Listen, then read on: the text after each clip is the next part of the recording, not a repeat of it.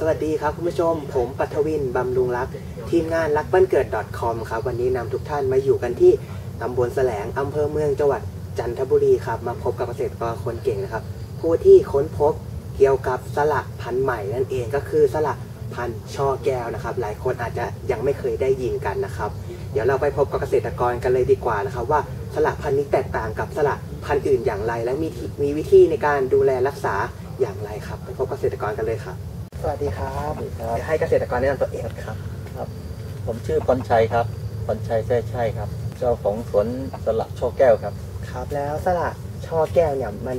มีลักษณะที่เด่นและแตกต่างกับสละพันธุ์อื่นอย่างไรบ้างครับคือว่าเอ่อสละช่อแก้วคือสีมันสวยครับ ครับ สีมันสวยแล้วมันจะดกครับแตกต่างอยู่ตรงนี้นะครับ แล้วเราพันธุ์นี้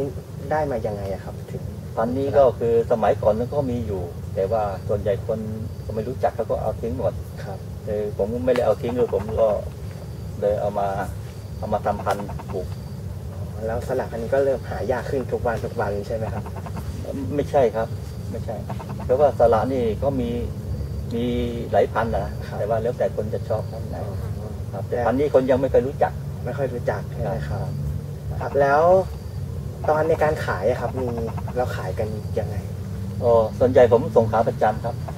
รับ ขาประจำก็เอาหมด ราคาประมาณเท่าไหร่ ราคาก็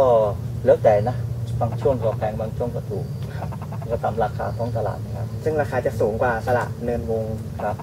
สูงกว่าประมาณ 4-5 บาทครับประมาณนั้นนะครับ ครับ แล้ว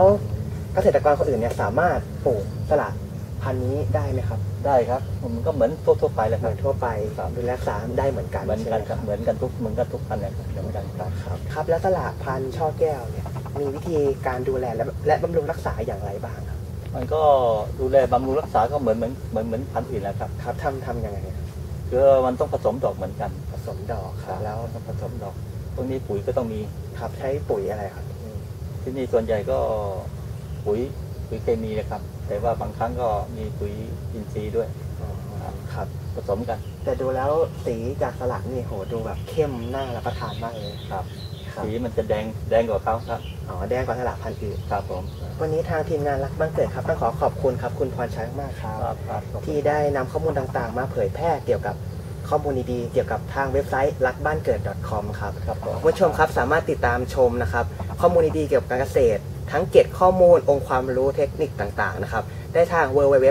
รักบ้านเกิด .com ครับวันนี้เราสองคนต้องขอตัวลาไปก่อนครับ สวัสดีครับสวัสดีครั